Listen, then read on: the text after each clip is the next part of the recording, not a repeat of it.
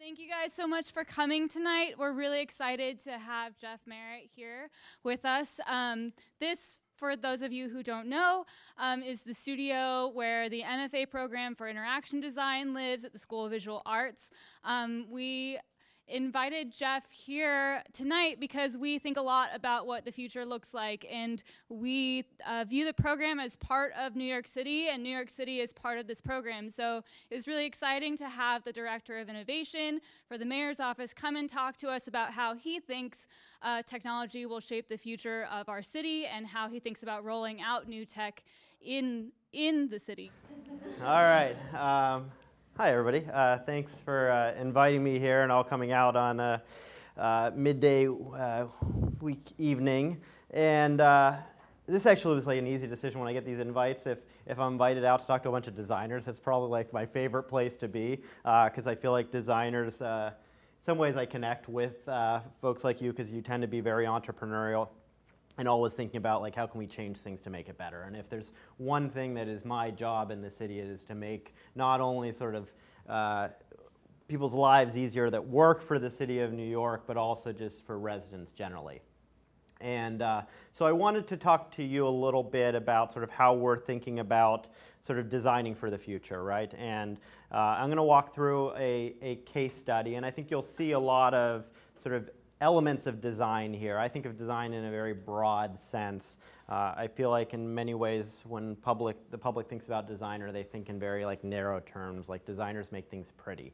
Um, but designers really, good design is about a vision, right? And it's about sort of thinking through a full strategy for rolling something out that's really impactful in a lot of different ways. And so um, I think you'll see in this sort of uh, case study they walk through a lot of different elements of design and some takeaways here. So I'm going to sort of focus on five takeaways. I'm going to try not to talk for too much here, so we have a lot of time for interactive discussion then afterwards. So um, building for the future. I think the starting point here is that we have to recognize the sort of era, the time in which we live now, um, is an era in which things are moving at a ridiculously fast pace, right? That in most cases, when you guys go out to buy that new iPhone 8 or iPhone 10 or whatever, by the time you bought it, the reality is it's already outdated because they're, they've been working on the next version, right? And that that's the case in almost everything out there, that, that there are so many folks working on constantly reinventing everything around us that we're always a little bit behind. And so how do you, as a designer, you know, how, or even as a city planner or someone thinking about the future, how do we deal with that reality that we can't really plan too far in the advance, too far advance into the future? And I think it's important to recognize that even if you don't think about yourself as a technologist, even if you don't think about technology as a core piece of everything you do, the reality is that in some ways you don't have a choice. Um, soon enough, it will be a key part of everything that you do. Um, there's a bunch of charts here on this right hand side that basically are all sloping fast down. And what those all are are the cost of technology computing costs, storage costs, connectivity costs are all plummeting rapidly. And what that means is that now the actual additional cost to put a computer chip and to make that connected into anything is so low that it's almost a no-brainer that increasingly, you know, you want to buy a chair, why not put a computer chip in that chair that will be able to sort of measure, um, you know, and tell you before that chair breaks, right? It becomes a no-brainer to just start putting technology in everything because the prices have dropped so low and the actual pieces of technology have gotten so small. So it doesn't really matter if you're, you know, designing buildings, if you're designing bridges, if you're designing chairs, if you're designing clocks. The odds are, you know, as we go more and more into the future, it's going to be very difficult to buy things that don't have technology in them. So, the case study that I'm going to walk through uh, is the payphones and sort of the, the reinvention here as a piece of, uh, you could probably say, I mean, it's sort of a piece of technology, right? It's a piece of infrastructure, um, something that when I first came to, to New York, I came to New York for, for grad school uh, in 2000, and the payphone was so critical to my life. Like when I came and I needed to uh, find my first apartment here, like you, I, I, being very literal here, you went over to the headquarters, to the Village Voice office over near Astor Place. You got the magazine, you know, the, the Village Voice right when they put out the print edition. You looked it up, and you had to run to the nearest payphone and call to try and get um, one of those, the sort of listing folks to actually meet with you and, let, and show you that apartment. Like we relied on payphones. That was 2000. That was not that long ago, right? That was 17 years. Um, and so when payphones came out, they were and you know they were critical um, to the lives of New Yorkers. But again, the rapid pace of technology, you know, the, as soon as cell phones started to come out and became ubiquitous, these became antiquated and very quickly not only were they not valuable but they became something that was an eyesore and that really you know made that we were not only did people want to get rid of them but we were embarrassed of these you know essential critical piece of infrastructure so the technology became antiquated and wasn't really used uh, we had thousands we still have thousands of locations across the city, and oftentimes they were in these big blocks that you guys see, right? Taking up sidewalk space. Um, small businesses, residents hated them. They were perceived as an eyesore. Uh, more often than not, they were used for negative purposes as opposed to positive, right? That uh, you know, criminals who didn't want to have a, a cell phone would use a payphone, or you know, someone would go in to pee or something like that. Uh, and so they were really disgusting. And uh, and beyond that, the advertising that was on there it was is largely unoriginal and uninspired because the reality of print advertising is you have to buy it in such bulk that folks aren't really thinking about, you know, what is the message for a particular area or audience. They're just blanketing it across the city. So, what do you do when you have something like this that at one point is incredibly valuable and then all of a sudden um, is kind of useless in a way? Um, you re envision it. Oops, oops, oops, there we go. You re envision it. Um, so, what you're seeing now taking the place of payphones are these structures here called LinkNYC. Um, it's the world's largest, fastest municipal Wi Fi network.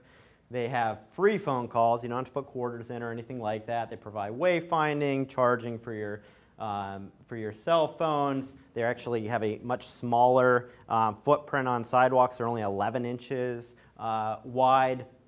There's fewer ads because instead of having ads on the side and these big ads on the side, you just have two um, screens on on each side. They don't cost taxpayers a single penny. In fact, they actually generate $500 million in guaranteed revenue to the city that can go into schools and all the day to day operations of the city. On the advertising side, instead of just having blanketed, you know, generic ads, they enable hyper local ads so that you know, a mom and pop shop here can actually run ad at, you know, at the link at the end of the block, and they can be time sensitive and day sensitive, so they can, you know, at, at 5 o'clock advertise a, a happy hour that they're having. Um, again, more relevant, contextual, uh, contextually relevant ads, uh, and also PSA. So you think in the case of the emergencies that we've seen, the hurricanes um, in the last few weeks, um, this is a huge asset for the city in the ability to actually push out specific information in different locations and say who's in an evacuation zone or to push out emergency information.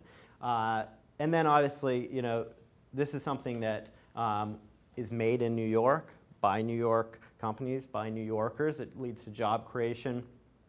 There's required sort of maintenance and cleaning, and there's mandatory technology refreshes. I'll get a little more into these. But, ha- but in a period of a very short period of a couple of years, we have turned something that was seen as an eyesore and people hated and something that uh, the approval ratings on these things are over 90%.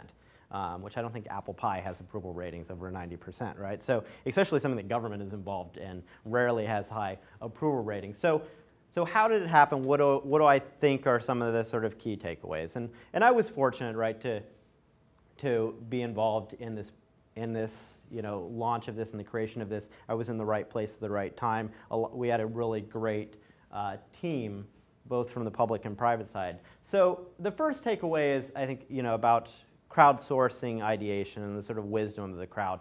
This was not something that a bunch of bureaucrats sat in an office and came up with. Surprise, surprise, right? Um, actually, the thing that government would have come up with is more um, what, what the city tried out in in 2012 as a sort of proof of concept. What if we actually just put a router on the top of the existing um, payphones? Will people actually use it? Yes, people actually used it. Um, it provided a little more value, um, but it didn't actually sort of, it wasn't a game changer, right? And so um, thankfully, what the city decided to do, instead of trying to guess what the best thing um, would be and, and, try and come up a vision, with a vision on their own, was to crowdsource that and do a design competition. And so designers from around the city came out. Um, this was at the end of 2012 and the beginning of 2013 as part of a design competition.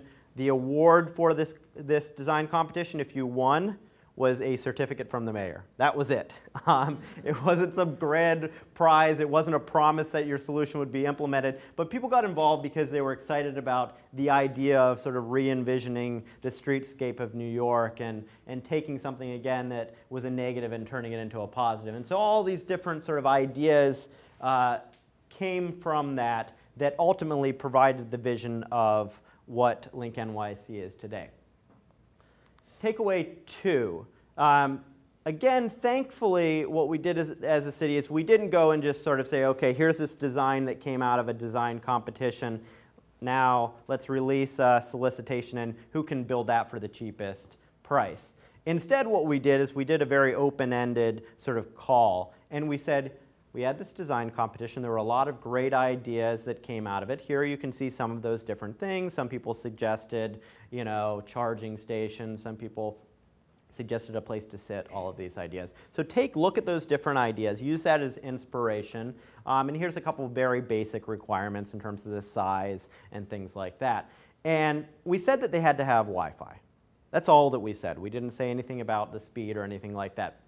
And I took this from um, the proposal uh, that was submitted for the winning team, and you'll see why in a second. And you know, they uh, put here their commitment, right, to bring New Yorkers the highest fa- or the, the fastest public Wi-Fi that was available, and they they benchmarked over here. Here's you know Verizon FiOS here at about 100 megabytes per second. The average Wi-Fi in New York about 20 megabytes per second. Time Warner coming up at about 28 megabytes per second. And this is just this was a print document that they delivered to us. So here's page one. Here's page two. and there's page three. And so over, it took them three pages to actually show the speed, uh, because again, you're going 20 times faster than the average Wi-Fi. The average Wi-Fi being about uh, 20 megabytes per second, um, and going up to 1,000 megabytes. Sorry, 50 times. Um, and again, is this something that the city of New York would have ever put out there? No, we didn't even think that was possible. I don't think most people thought it was possible, and it speaks to the power of competition here. And that I think a lot of times our impulse is to spell out all of the details, right? And that'll just make everything easier. Um, but we really have to harness the unknown and, and take advantage of the fact that people will put forward their best ideas um, when they want to win something. And that's definitely what happened here. Takeaway three is about cross sector partnerships. And I know you guys hear this all the time about cross disciplinary collaboration. But again, this is something that we wouldn't have these structures today if it wasn't for the team that came together. And so what happened is when the city had that design competition back in, in 2013, two different companies decided, they actually met each other at one of the sort of information sessions, and they decided to go in and collaborate together to put together an idea. And those two companies were an out of home advertising company called Titan that was based in New York, uh, and a small startup that did digital user experience tools called Control Group.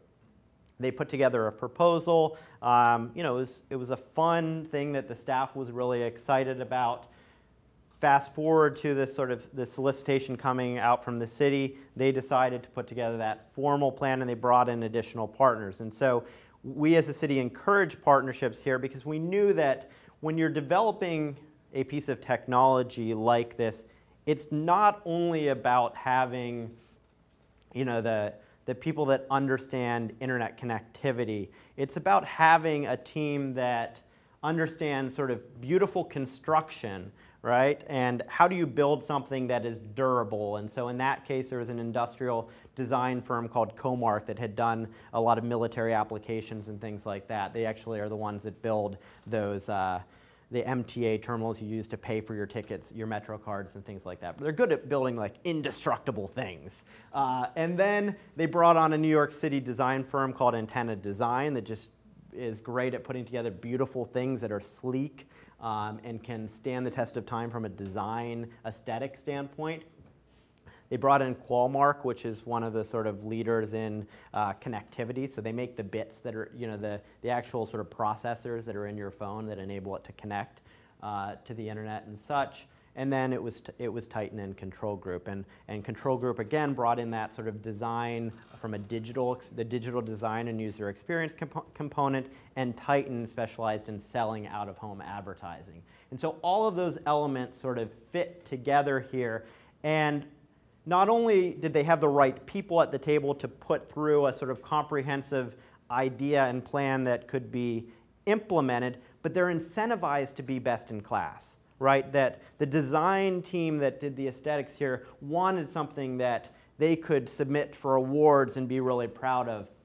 The connectivity team wanted to make sure this was always the world's, you know, or is always the world's fastest connection system. The advertising folks want, are trying to reinvent the way that we do out of home advertising in the same way that Google or Facebook have transformed advertising online. And then the same thing with user experience. They wanted to change the way in which people interact with technology in public spaces.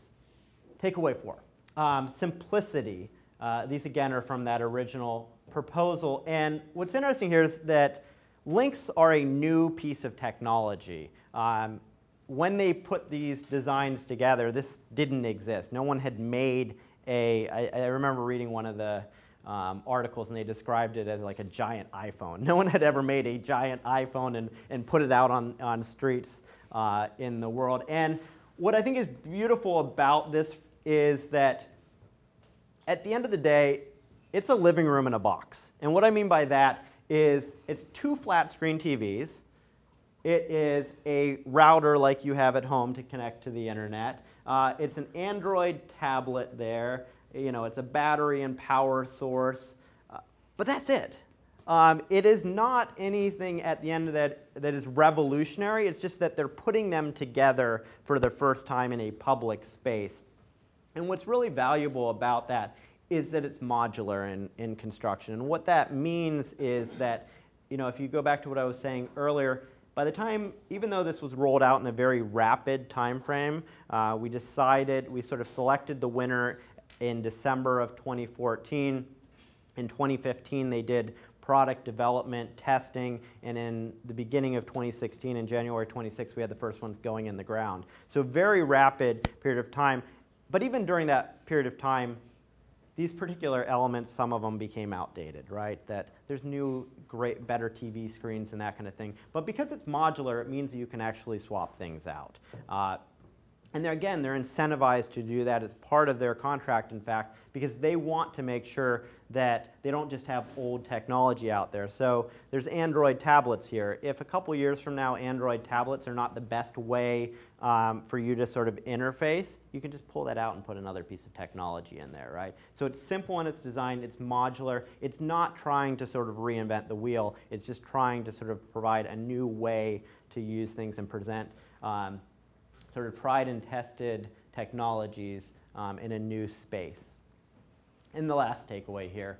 Um, obviously, I've been saying a lot of like great things about this. It's, it's, a, uh, you know, it's a product that I'm very proud of, and I think New Yorkers should be proud of. Uh, that doesn't mean that it was an easy rollout by any means. Uh, if you saw any of the, the news about LinkNYC in the last you know, year, it was very, very critical. Um, and that's partly because uh, it ta- anytime you're introducing anything new onto the market and you're trying to do something different, there's a lot of public education that has to happen. So this first one from the Village Voice was um, you can see Google Alert, the company's Trojan horse Wi Fi kiosks scare even the people who built them, who invited them in again. And this was, uh, this sort of grew out of a, a story that happened where Um, those two companies I mentioned early on, Titan and Control Group, ended up merging um, and becoming a new company called Intersection. One of the Google Alphabet companies called Sidewalk Labs decided to invest in that company, um, and that very quickly became a, a news story. The reality was that Intersection was a minority sort of um, part of the bigger group behind Link, and that Sidewalk Labs was a minority shareholder of that minority group. So had a very li- little role and no influence in all of this or any access to the data, but nonetheless um, created some, some big concerns. And then um, on the right hand side here, uh, an issue that became prevalent anytime you're giving away sort of free, you know, part of the goal and the vision with LinkNYC was to ensure free, high-speed internet to all New Yorkers, right? And recognizing that New York, that I think it's 600,000 New Yorkers don't have internet access at home, um, and therefore are very reliant on their cell phones and those data plans. And so, if they're able to go out in a public space and, and not have to pay for their data,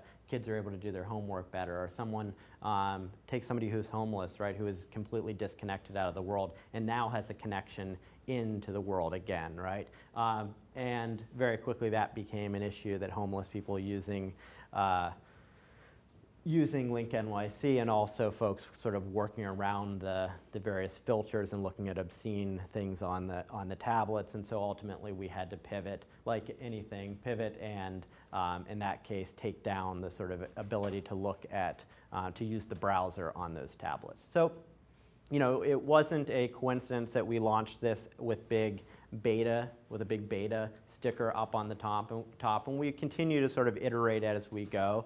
Uh, but I think again, it's just a, it's a, in some ways, I think this is a badge of honor that if you do something that is truly breakthrough and innovative, you should have some pushback. You should stir things up a little. Um, and now again, I, you know, that we have really strong.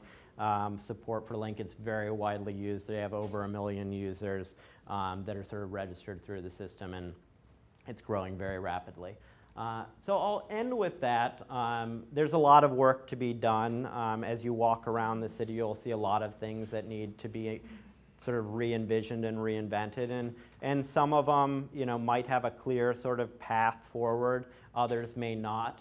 Um, you know, you look at something like our post office boxes. There's over 20,000 of them uh, that are around the city, they were built for a different era. They were built for an era where people sent letters. Um, we live in a time where the majority of things that you receive in the mail are actually packages. Um, and the fact that a large number of New Yorkers, particularly those who live in the outer boroughs, don't have doormen and can't receive packages means that we have inequities that are created as a result of a postal system that is geared towards letter delivery, not packages, so that a lot of New Yorkers can't get, you know, you know, Amazon Prime things delivered or food delivered as, as easy as other New Yorkers. You know, or something like emergency call boxes, 20,000 of these around the city. Again, it's an asset. Um, it can evolve potentially for, for a new era, but we really want to think about that carefully. How do we, how do we leverage that real estate? Um, what are the, the new needs that we have today? What are the needs that we will have in the future? Uh, and that's, I think, um, that's the exciting thing about the world that we live in today. Yes, we have incredible technological change and things are moving fast, but that's an opportunity. Um, and I think all of you, luckily because of the sort of career path that you've taken, have the opportunity to be part of that.